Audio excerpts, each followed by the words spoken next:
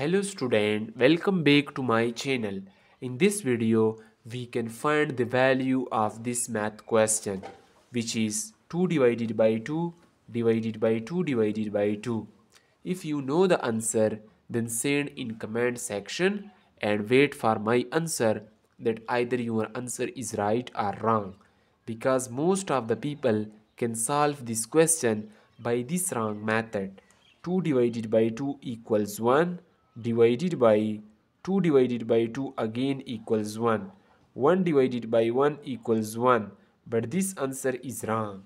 Because the order of operation which is called PEMDAS rule which say that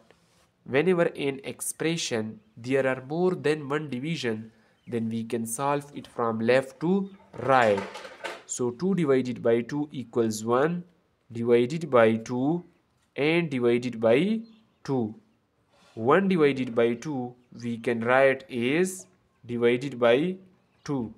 1 divided by 2 divided by 2 according to the rule of KCF which is called keep change flip we can write the question is 1 divided by 2 times 1 divided by 2 now here numerator is multiplied to numerator divided by denominator is multiplied to denominator. This is the final answer of this question to see more math video like this subscribe to the channel. Thanks for watching